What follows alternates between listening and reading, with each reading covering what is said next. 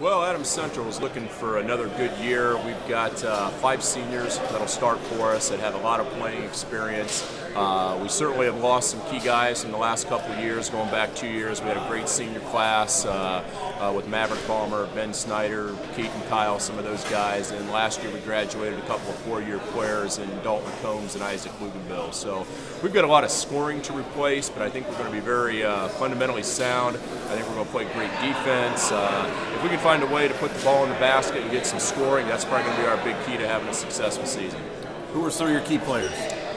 Well, like I said, we've got five seniors uh, coming back that will play this year. Three of those started off and on throughout the year. Nick Balmer uh, is just a real solid, fundamentally sound player for us. Alex Byerly has been our point guard the last couple of years.